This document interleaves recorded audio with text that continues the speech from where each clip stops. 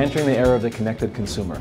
It's the first time in the history of mankind that the consumer's familiarity and comfort with technology far exceeds the organization's commitment and comfort with technology. Customers are speaking to each other helped by all of the evolution in social media, collaboration technologies. You see people talking to each other in different forums that are not necessarily in the control of the financial services organization.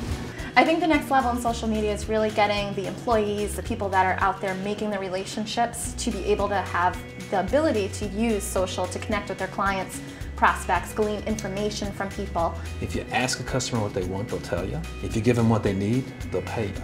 You know, we forget about that in this world, and, and where we where we get flustered is we don't always know how to ask and it becomes more complicated. Social is a great way of helping us figure out what the customer really wants. I think being able to cope with the unbelievable amount of information that's being generated in social media sources and trying to harness uh, what that data can mean uh, is a really, really big challenge uh, for all financial services companies.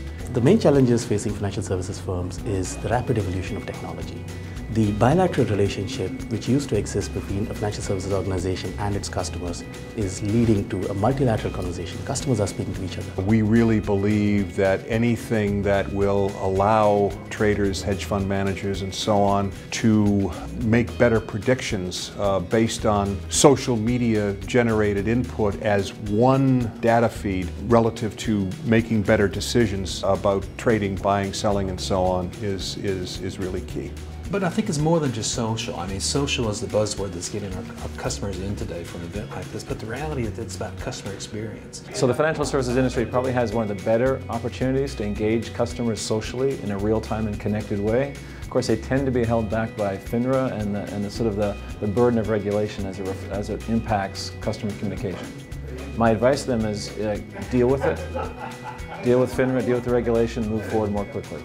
The MphasiS is helping organizations come to terms with where technology can play a part, participate in that discussion and drive it.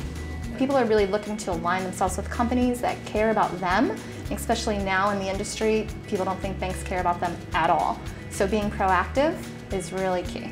MphasiS is helping financial services organizations keep up to speed with this technology evolution and really control some of the technology usage that allows financial services firms to participate in these conversations happening outside of their own control and learn from them, get customer insight, and then apply those in terms of better products, better targeted products, and better service to the customers.